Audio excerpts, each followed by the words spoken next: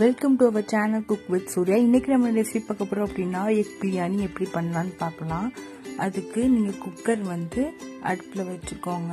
அதில் வந்து எவ்வளோ என்ன வேணுமோ அதை ஊற்றிட்டு ரெண்டு பெரிய சைஸ் வெங்காயத்தை வந்து கட் பண்ணி வச்சுக்கலாம். கட் பண்ணி நல்லா போட்டு வதக்கி எடுத்துக்கோங்க. இந்த வெங்காயம் வந்து நல்லா கோல்டன் ப்ரௌன் ஆகிற வரைக்கும் நல்லா நம்ம வதக்கி எடுத்துக்கலாம். இது வந்து நல்லா கிறிஸ்பியாக இருக்கும். அந்த மாதிரி நம்ம வதக்கி எடுத்துக்கணும். பிரியாணியில் இது நம்ம சேர்த்துக்கிட்டா ரொம்ப டேஸ்ட்டாக இருக்கும். அதனால நம்ம சேர்த்துக்கிறோம். உங்களுக்கு வேணான்னா நீங்கள் ஸ்கிப் பண்ணிக்கலாம். பாருங்கள் இந்த மாதிரி நம்ம எடுத்து வச்சுக்கலாம். நல்லா எண்ணெயே இல்லாமல் எடுத்துக்கோங்க. பாருங்க இந்த மாதிரி தான் இருக்கும். அதுக்கப்புறம் கொஞ்சோண்டு எண்ணெய் ஊற்றிட்டு பட்டை கிராமு ஏலக்காய் சேர்த்துக்கோங்க. பிரியாணி இலை இருந்துச்சுன்னா பிரியாணி இலை சேர்த்துக்கோங்க. இப்போது ரெண்டு பெரிய சைஸ் வெங்காயத்தை வந்து நீள நீளமாக கட் பண்ணி சேர்த்துக்கலாம். சேர்த்துட்டு நல்லா வதக்கி எடுத்துக்கோங்க.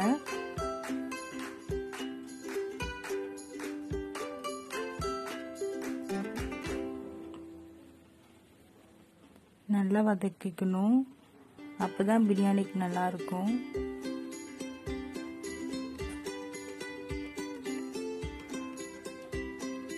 இன்னும் கொஞ்சம் வதங்கினதுக்கப்புறம் நம்ம தக்காளி சேர்த்துக்கலாம்.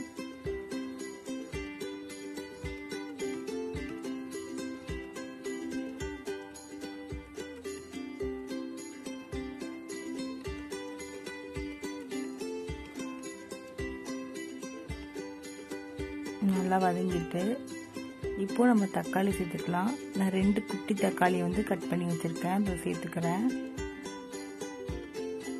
சேர்த்துட்டு நல்லா வதக்கிக்கலாம். தக்காளி வந்து நல்லா வதங்கணும். அப்போ தான் டேஸ்ட்டாக இருக்கும். பாருங்கள் இந்த மாதிரி வதங்கினதுக்கப்புறம் இஞ்சி பூண்டு பேஸ்ட் சேர்த்துக்கோங்க. சேர்த்துட்டு அதோட பச்சை ஸ்மெல்லாம் போகிற அளவுக்கு நல்லா கிளறி விட்டுக்கோங்க.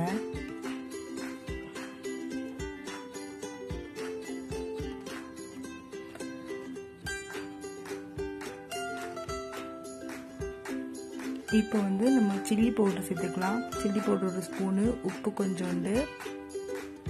பிரியாணி மசாலா இருந்துச்சுன்னா அதை சேர்த்துக்கோங்க. உங்களுக்கு பிரியாணி மசாலா பிடிக்கலைன்னா கரம் மசாலா வேணால் சேர்த்துக்கோங்க. நல்லா சேர்த்துட்டு நல்லா கிளறி விட்டுக்கோங்க. நான் வந்து ஒரு கிளாஸ் அரிசி எடுத்திருக்கேன். அதனால ரெண்டு கிளாஸ் தண்ணி ஊற்றிக்கலாம் இந்த கிளாஸில் நான் ஒரு கிளாஸ் அரிசி ஊற்றினாலும் இந்த கிளாஸில் வந்து நான் தண்ணி ஊற்றிக்கிறேன் ரெண்டு கிளாஸ் ஊற்றிக்கோங்க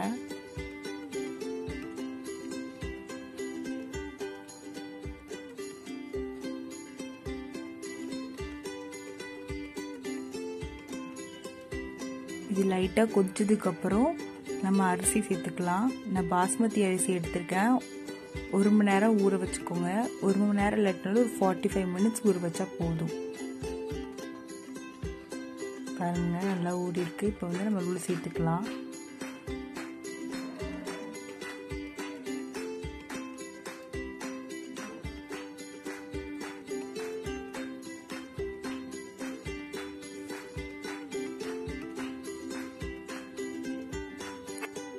உள்ள சேர்த்ததுக்கப்புறம் நம்ம வந்து நல்லா வதக்கி வச்சிருந்தோம்ல அந்த வெங்காயத்தை வந்து இதில் சேர்த்துக்கலாம்.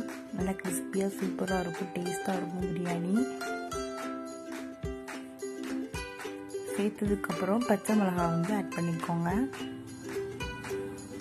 இப்போ நம்ம முட்டையை வந்து நல்லா ரோஸ்ட் பண்ணியும் வைக்கலாம். இந்த மாதிரி சும்மாவும் வைக்கலாம்.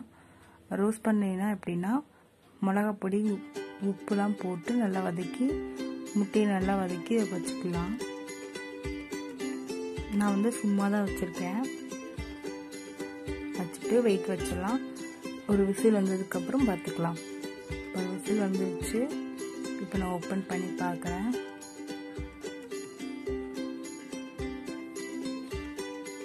பாருங்க நல்லா வெந்துடுச்சு அரிசி. சூப்பராக வந்துடுச்சு. நீங்களும் வீட்டில் இதை மறக்காமல் ட்ரை பண்ணி பாருங்கள் ரொம்ப டேஸ்ட்டாக இருக்கும்.